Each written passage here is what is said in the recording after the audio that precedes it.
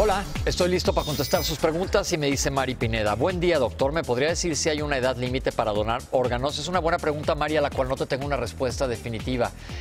Lo que invito a todo mundo es que no importa la edad que tengas, dones tus órganos. Porque inclusive si no se puede utilizar, a lo mejor es alguien de mayor edad y no tiene un corazón muy sano, se puede utilizar las córneas o a lo mejor los riñones. El caso es que todos nos anotemos para ser donadores porque le vas a salvar una o varias vidas a una o a muchas personas.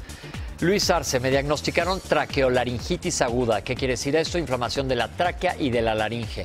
Tuve un tratamiento en dos partes, pero me intoxiqué y ya no tomé nada. Desde entonces a veces se me inflama detrás del oído y me duele la garganta.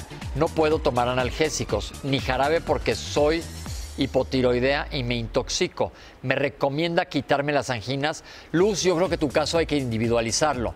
¿Por qué no vas a ver a un otorrino que te diga exactamente qué hacer? A lo mejor te va a hacer un exudado faringeo para ver si tienes algún tipo específico de bicho que lo puedan matar.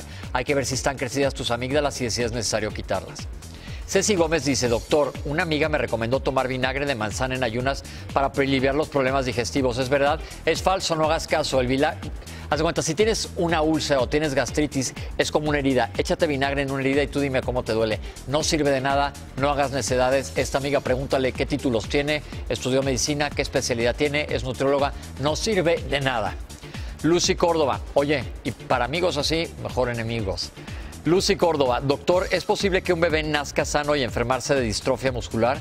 Pregunto porque una amiga tuvo a su hija, estaba bien, le dijeron que contrajo la enfermedad debido a una fiebre alta.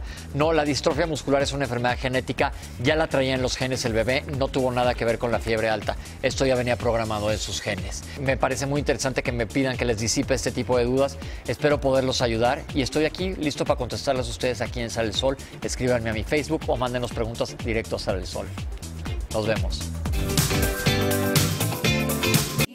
Sale el sol, lunes a viernes 9 a.m. Participa en Imagen Televisión.